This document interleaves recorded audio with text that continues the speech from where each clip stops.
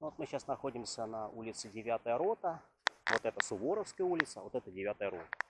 И вот здесь между Суворовской улицей и улицей 9 рота в Преображенском районе на востоке Москвы, недалеко от Электрозаводской улицы, первого Электрозаводского переулка, а, были построены вот эти вот четыре, а, ну уже, можно сказать, бывших жилых дома для рабочих а, бывшего московского электролампового завода, сокращенно МЭЛС. Ну вот видите, какие дома. Эти дома были построены в конце 1920-х годов по проекту архитектора Мотылева. Вот, ну, это где-то примерно 1920 7, 28, 29 год. Ну, вот, а, примерно так. Вот. И построены они были, как тогда строили, в стиле конструктивизма. А вот. Там, кстати, собака, видите? Он охраняет она. Там лежит, да? Вот. В стиле конструктивизма. Ну, для вот конкретно рабочих этого завода. Ну, тогда было принято строить для рабочих крупных заводов э, жилые дома именно от конкретно от этого завода, чтобы рабочие там жили. Ну, соответственно, было где им жить, да, ну и, соответственно, легко было добираться до работы, потому что, в принципе, здесь э, вот этот электроламповый завод находится совсем неподалеку, вот буквально там, вот за тем зданием, там проходит, ну, чуть-чуть подальше, метров, наверное, может, 300, да, там проходит электрозаводская улица, на которой, собственно говоря, и находится вот это э, бывший электроламповый завод. Ныне это холдинг Московский электрозавод. Вот. И вот как раз там первый электрозаводский переулок, и по нему можно как раз и перейти вот отсюда, с, Суворовской улицы, на а, непосредственно вот электрозаводской улице, выйти к этому заводу. Ну, конечно, естественно, удобно было. Э, дома эти а, были коммунальными, то есть дома коммуны как тогда строили, коммуналки фактически, коммунальные системы с общим коридором, ну, как обычно, скорее всего, да, вот эти все как говорится, прелести коммунальной жизни общей. Ну, тогда так строили, и, как говорится, ну, как говорили, в тесноте да не в обиде, да, то есть, в принципе. Ну, жили так вот вместе, вместе работали, вместе жили, конечно, было много общих интересов, как говорится, общая работа, которая как-то людей сплачивала. Вот, ну, а потом, э, получается, этим домам уже 90 лет, да, почти 100, э, дома постепенно, естественно, обветшали, вот, уже хотя и довольно такие, они выглядят довольно капитальными, но все равно время берет свое, да и, в общем, в коммуналках тоже мало кому сейчас жить хочется.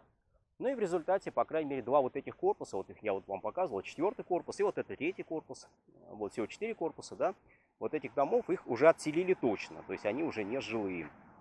Что касается первого и второго, ну там, не знаю, по-моему, тоже они уже отселены. Вот, я, насколько знаю, эти дома не попали в реновацию, но очень вероятно, что даже без всякой реновации, в общем-то, их вполне могут снести. А, вот эти дома. Просто потому, что они уже не жилые, ветхие, ну что ж тут оставлять, в принципе, да, уже как бы смысла нет. Ну вот видите, такой общий двор, то есть они составляют как бы каре такое, да, с общим двором.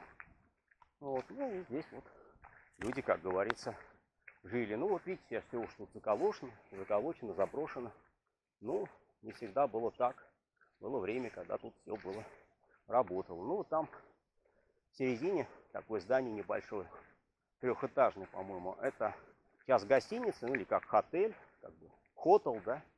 Вот, ну когда-то этот, не знаю, что это было, может быть, типа ну, тоже, наверное, жилой дом, скорее всего. Может быть, какое-то предприятие, что-то здесь было не жилое, какие-то, может, магазины. Ну, вот перед нами как раз трехэтажное здание. Это типа хотела. Но это сейчас, а вот раньше, естественно, это не был хотел, отель, как угодно, хостел, да, хостел, да, гостиница, отель. Вот, а уже было, очевидно, жилым домом, наверное, таким маленьким. Посередине он стоит, как бы между вот этими четырьмя корпусами краснокирпичными, мощными.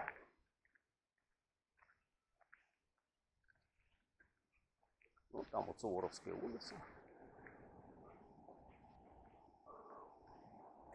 Вот, и еще за этим корпусом еще два вот таких же подобных жилых дома. Вот они.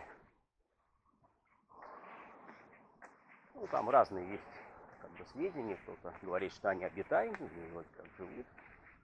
Кто-то говорит, нет. Ну, сейчас Давай посмотрим, что там происходит.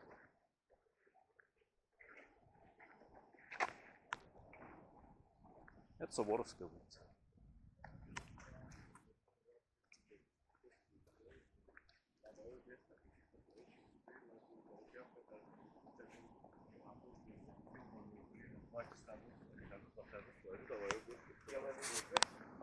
Ну, судя по всему, тоже уже дом необитаемый. По крайней мере, вот видно, что окна заколочены. Да, правда, еще детская площадка тут, я смотрю, вот есть.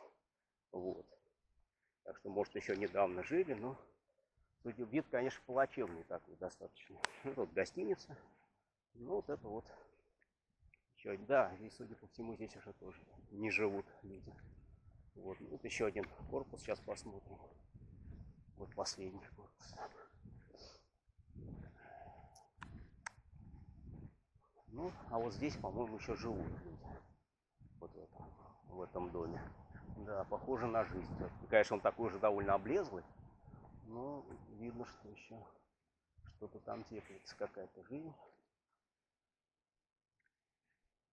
Ну, вот такая ситуация. Но я думаю, что все равно, если даже еще вот в одном из корпусов, скорее всего, еще какая-то жизнь не продолжается, то думаю, что, наверное, уже недолго осталось. И тут скорее всего, скоро все полностью снесут, наверное, и уже будет, соответственно, новая жизнь. Видите, даже сняли указание, указатель, какой номер дома. Ну, чтобы даже никто не пытался там, туда попасть, на что-то надеяться. Все, вот этот еще, по-моему, там что-то теплится, там какие-то даже машины вот стоят. Там. Ну, хотя здесь тоже стоят, но я думаю, что они уже не от этих жилых домов, конечно, а скорее уже из окрестных предприятий. Вот.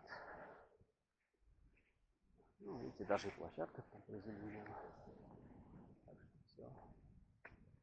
Ну да, здесь он еще кондиционер стоит, то есть видно, что живут люди. Ну вот, наверное, последний остался этих вот домов, построенных для электролампового завода. Ну, нет завода, соответственно, нет и уже и дома, домов, по сути дела. Да, нет, ну, вернее, дома остались, но люди уже, по сути, не прижили. Ну вот, смотрели. До встречи.